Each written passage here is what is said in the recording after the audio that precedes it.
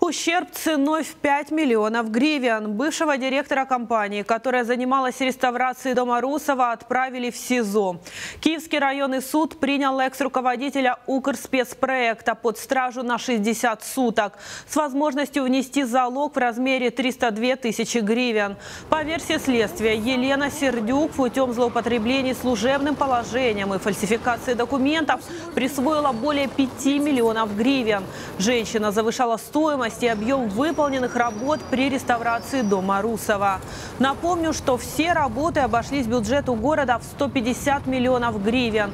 Если вину директора докажут, она может провести за решеткой до 12 лет.